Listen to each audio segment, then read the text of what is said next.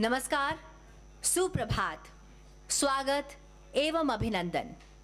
इस विशेष कार्यक्रम में उपस्थित सभी गणमान्य अतिथियों एवं सदस्यों का मैं स्वागत करती हूँ, अभिनंदन करती हूँ। वेलकम यू ऑल वर्ष 2021 में लोकसभा के माननीय अध्यक्ष श्री ओम बिरला जी ने अपने आप में एक अनोखी पहल की शुरुआत की, ताकि क्षमता निर्माण के उद्देश्यों को आगे बढ़ाया जा सके। इसके लिए एक ऐसे कार्यक्रम का आयोजन किया गया, जिसमें सामाजिक और विकासात्मक कार्यों में विभिन्न क्षेत्रों से संबंधित पद्म पुरस्कार विजेताओं से उनके कार्य क्षेत्र और योगदान के सफ़र को साझा किया गया। और आज का ये कार्यक्रम पद्म पुरस्कार विजेताओं के ही नाम है। आप सभी का स्वागत है। वो तमाम विजेता जो हमारे साथ वर्चुअल माध्यम से जुड़े हैं, उनका भी मैं स्वागत करती हूँ, अभिनंदन करती हूँ। तो चलिए, कार्यक्रम का शुभारंभ करते हैं।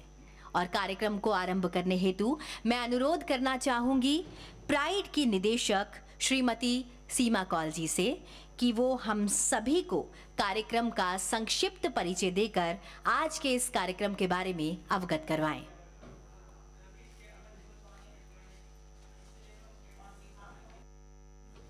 On behalf of Parliamentary Research and Training Institute for Democracy, it's a great pleasure to welcome you all to our Parliament. In 2021, a first of its kind initiative of Honorable Speaker Lok Sabha, Shri Om Birla ji was introduced for the benefit of the Honorable Members of Parliament to further the capacity building objectives. Herein, best practices from various fields of social and development work were shared by Padma awardees belonging to various states from across the country who have been awarded the prestigious Padma Awards for their immense contribution in their respective fields of work. And another similar program was organized by Pride uh, for three days from 23rd to 25th March 2022. And following the program success of presentation by Padma awardees for the benefit of honorable members of Parliament Part 1, Part 2, Pride is organizing a similar program today that is on 27th January 2023. The presentations will be given by accredited persons on their subject of expertise who are recognized by the Government of India for their distinguished contribution in social service and other related fields and have been awarded the prestigious Padma Awards.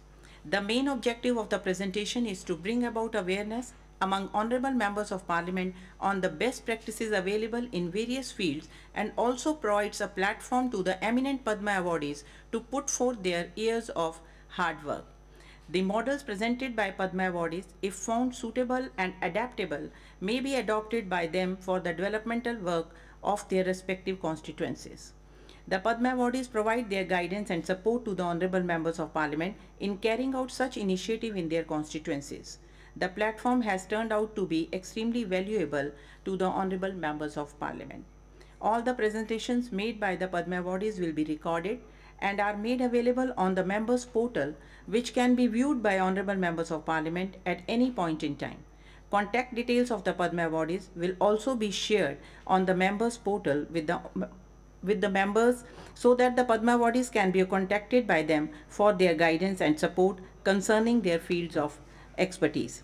The presentations will be given on various subjects which are bringing business to villages, women for women, holistic solutions towards healthy lifestyle, increasing participation in para sports and developing its infrastructure, and last mile implementation of Niti Aayog policies institutionalizes orphanages for sustainable development of orphans and promoting Sikshan through Sahitya.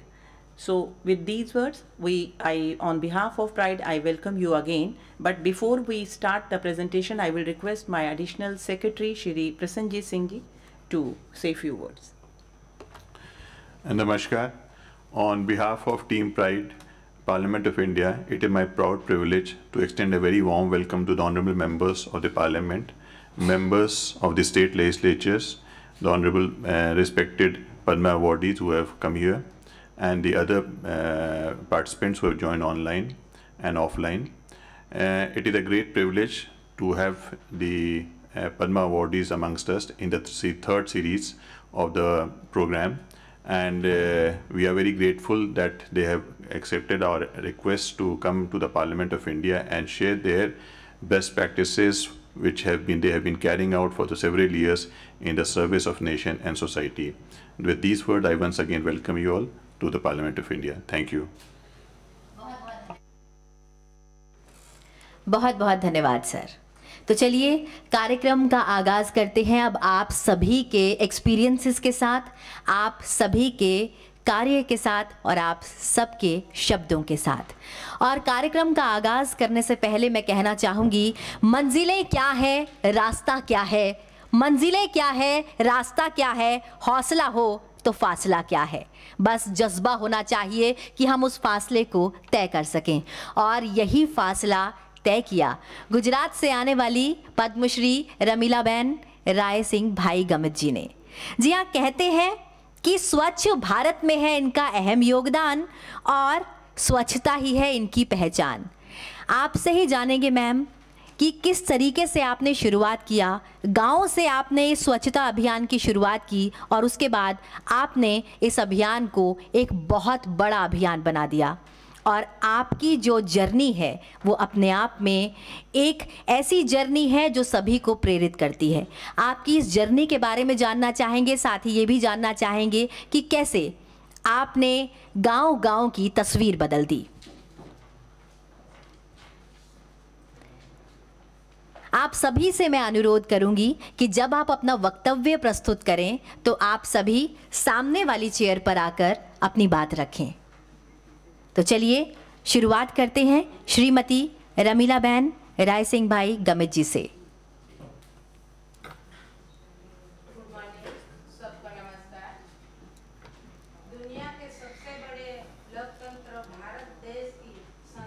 Lok Sabha सदन में आज मैं रमीलाबेन गामित और मेरे विचार और अनुभव प्रस्तुत करते हुए बहुत ही गौरव महसूस कर रही हूँ। मान्यगण, मैं गुजरात राज्य के तापी ज़िले के सनगढ़ तालुका में आदिवासी बहत्वी गाँव टापरवाड़ा की निवासी हूँ। देश का चौथा सर्वोच्च सम्मान पद्मश्री पाने के लिए एक छोटे से गाँव से यहाँ तक पहुँचने का मेरा संघर्ष का सफ़र 2014 में शुरा हुआ था। जब 2 अक्टूबर 2014 में महात्मा गांधी जी की जयंती पर भारत के हृदय सम्राट विश्व नेता माननीय प्रधानमंत्री श्री नरेंद्र भाई मोदी जी ने स्वच्छ भारत मिशन अभियान की शुरुआत की। तभी से मेरे मन में अपने गाँव और अपने देश के लिए स्वच्छता का यह पवित्र अभियान शुरू करने का विचार आया। राष्ट्रपिता महात्मा गांधी के स्वच्छ भारत का सपना देखा था और कहा था कि स्वच्छता, स्वतंत्रता से अधिक महत्वपूर्ण है, जिस, जिसे वास्तव में हमारे प्रिय प्रधानमंत्री श्री नरेंद्र भाई मोदी जी ने साकार किया है। यहाँ स्वच्छता है, जहाँ स्वच्छता है, वहाँ सुप्रभुता है। मैंने इस बात को अपने दिल में रखते हुए स्वच्छ भारत मिशन अभियान शुरू किया। शुरू किया था। इस पुरुष प्रधान समाज में एक स्त्री पुरुष की तरह योगदान देना चाहती है, परंतु सालों से तय की गई इस मानसिकता को हटाना इतना आसान नहीं है। विश्व में आप जो परिवर्तन देखना चाहते हो पहले वह परिवर्तन अपने आप में लाइए। इस खूबसूरत पंक्ति को ध्यान में रखते हुए सबसे पहले मुझे स्वच्छ भारत मिशन अभियान के बारे में विस्तृत जानकारी स्व सहाय समूह की महिलाओं को देनी थी। स्वच्छ भारत मिशन के मुख्य उद्देश्य जैसे शौचालय का निर्माण, सार्वजनिक क्षेत्र की सफ़ाई, कचरे का प्रबंधन और देश के बुनियादी ढांचे को साफ़ सुथरा बनाना आदि मुद्दों को केंद्र में रखकर लगातार चिंतन किया। हमारे ग्रामीण और आदिवासी क्षेत्र में मैंने अपने स्वसहाय समूह की बहनों को घर घर शौचालय का सक्रिय रूप से उपयोग करने की जानकारी दी और उसने शौचालय निर्माण में अग्रणी भूमिका निभाकर सभी को प्रोत्साहित किया है। लोगों से डर, लोगों से डर कर नैया पार नहीं होती और कोशिश करने वालों की कभी हार नहीं होती। ये प्रचार के बार बार प्रयत्न करने से शौचालय और उसका उपयोग हमारे क्षेत्र में जन आंदोलन बन गया है। माननीय प्रधानमंत्री श्री नरेंद्र मोदी के नेतृत्व में स्वच्छ भारत मिशन अडीएफ से अडीएफ प्लस तक की अपनी यात्रा को सफलतापूर्वक पूरा कर रहा है। इस अभियान के माध्यम से लोगों के जीवन में असाधारण परिवर्तन आया है। स्वच्छता को लेकर लोग जागरूक हुई है। स्वच्छ रहना हमारा नैतिक कर्तव्य है। मेरे सामान्य काम को असामान्य रूप से पूरी भावना के साथ किया है, लेकिन इस लक्ष्य तक पहुँचने के रास्ते में मुझे कोई रुकावटें भी आई। पर लोगों को नकारात्मक विचारों को, रवैये के मेरे दिमाग को और मज़बूत किया है। मेरे विचार दृढ़ है और हमारे देश के लिए जनहित की कार्यों के प्रति मेरा मनोबल मज़बूत है। राष्ट्रहित के सभी मिशनों का सफलतापूर्वक पूरा करने हम सभी का पवित्र कर्तव्य है। जब से माननीय वड़ा प्रधान श्री नरेंद्र भाई मोदी जी ने देश का संभाला है, इस विकास की सीढ़ियाँ चढ़ाती ही जा रही है। देश के सभी वर्गों के लोग मोदी जी को विकास, पुरुष, गतिशील, निर्णायक और दूरदर्शी वैश्विक नेता के रूप में देखते हैं। वह करोड़ों भारतीयों की आकांक्षा और सपनों के लिए आशा की एक नई किरण बनकर उभरे हैं।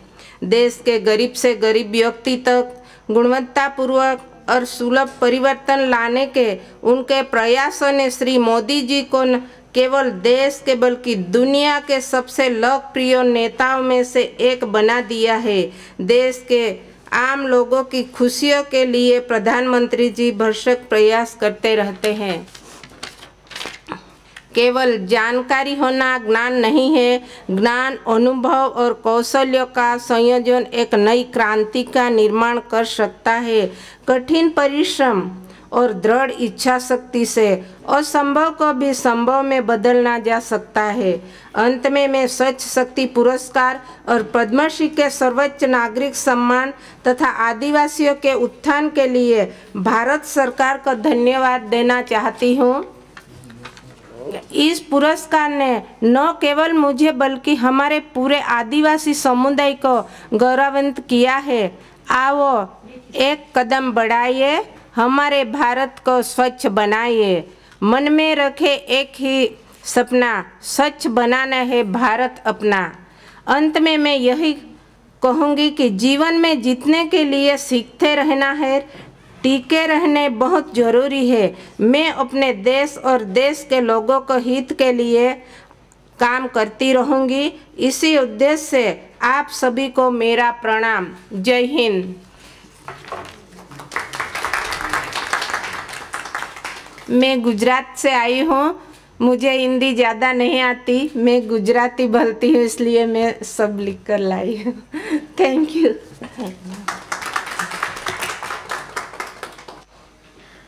बहुत बहुत धन्यवाद, मैम। हमारे देश में विभिन्न भाषाएँ बोली जाती हैं। विभिन्न प्रांतों से लोग आते हैं, इसलिए कहते हैं कि हमारे देश में यूनिटी इन डाइवर्सिटी है। और जो काम आप करते हैं उसके लिए, उसके व्याख्यान के लिए किसी भाषा की ज़रूरत नहीं, क्योंकि आपके शब्दों में वो भाव है और भाव के लिए कोई भाषा की ज़रूरत नहीं। भाव लोग यूँ ही समझ जाया करते हैं।